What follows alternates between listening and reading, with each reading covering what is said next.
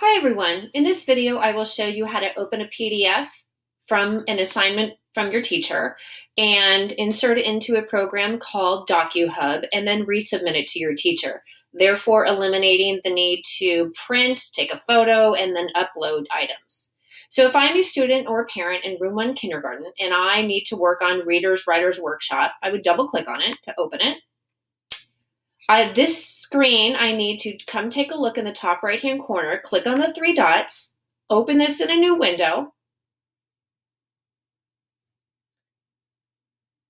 Right here in the center of the screen, it says open with.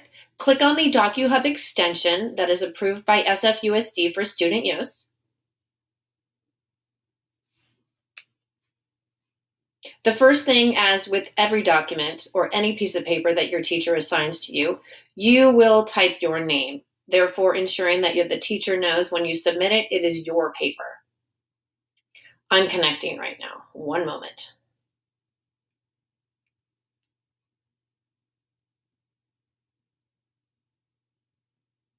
Here we go. Readers and Writers Workshop.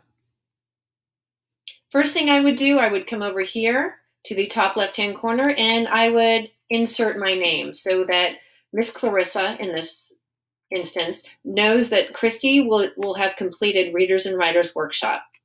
And if you've noticed, I can read the document, I can use the scroll bar just like always. Now I have a series of comprehension questions based on the previous page. I can A, come up to the toolbar and use the text tool. I can type my answer here. I can also click on the highlight tool. Earth is a, and then I would highlight it. I can change the color of my highlight, and then I can move on to the next one. I would choose the highlight pen again. Our solar system has eight planets, and I would do it again. Perhaps this time I want a different color. So as I move down, turn that off. I scroll down and Miss Clarissa asks us to type in the answer to what gives us air to breathe. I go back to my text tool. I click here on the line and I, what gives us air to breathe? The earth. Oops, let's, the earth provides oxygen which allows us to breathe. I'm not sure this is an appropriate answer for kindergarten, but for demonstration purposes, it works. Come back on the A tool if you like. Ooh, I spelled that wrong, so let's fix that. I can change the size of it. Uh, it's a little too large. I can change the font, and I can also change the color, none of which I need to do now. I can scroll down, I can read the following assignment. I again can choose my highlight tool, highlight the answer, and I can continue working on this document, I believe it's one assignment every day.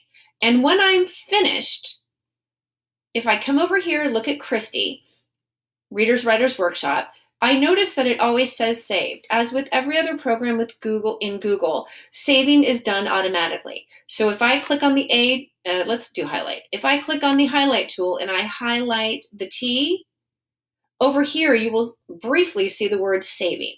So it saves automatically. I do not have to worry about that. I am going to undo that last highlight.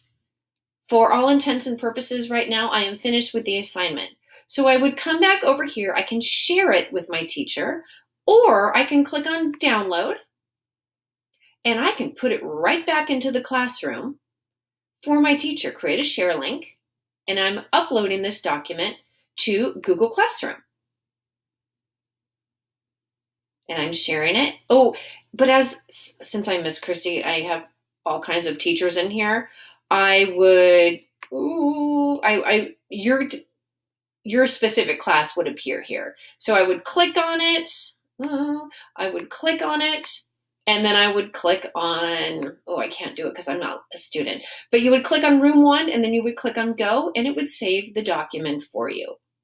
If you have questions, if you have questions, please do not hesitate to email me. My email is estesk at sfusd.edu. Take care.